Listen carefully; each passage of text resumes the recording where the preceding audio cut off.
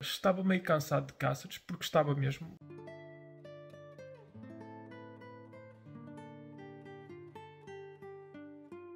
A ruta de La Plata, desde Salamanca até Cáceres, é incrível, mas depois chega-se.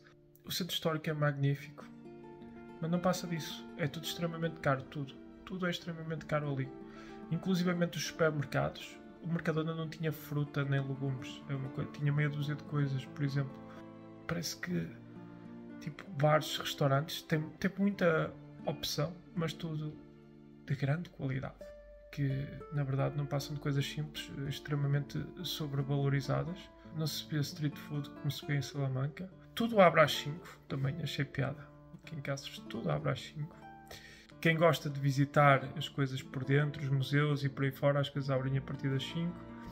E para subir à Torre das Cegonhas, que se diz que ser a vista mais bonita dos telhados de Cáceres, só se pode a partir dessa hora e com problema, em grupo tem que estar uma visita marcada em grupo porque não se pode subir à torre se não for dessa forma. O que foi extremamente limitante. Nem sei se me apetece ir para lá para a noite ou não. Estou. Estou bem que desiludido.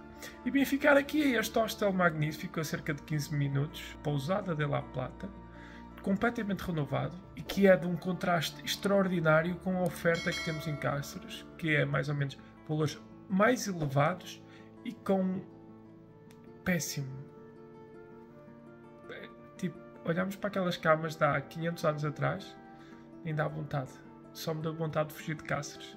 Depois de ter vontade de fugir, fui ao supermercado, vi que não tinha nada, continuei com vontade de sair daqui. La Pousada de La Plata. Não vou estar aqui com meias merdas. Fora de Cáceres, melhor coisa que se encontrou. O que eles dizem ser uma pousada, porque isto não é uma pousada, isto é uma espécie de casa, hostel, Airbnb, chamem-lhe o que quiserem. Tem bué de quartos e está muito, muito giro, porque está renovado, está muito bonito. Por hoje é tudo. Até a próxima.